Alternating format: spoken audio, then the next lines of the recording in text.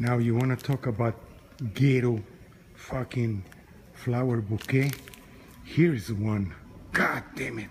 And this was the most fucking decent I could find in this ghetto fucking city, Shitlanta. Gotta go and pick up my baby little kitten, and I'm in Shitlanta, right in the fucking ghetto of the USA, and this is the only fucking shit I could find.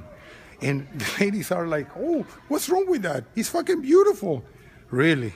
Beautiful? Look at this horrendous shit.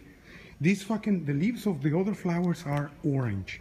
Okay, I'm using the one color fucking um, app. So there's red roses again. There were no fucking white or any other kind of color of roses.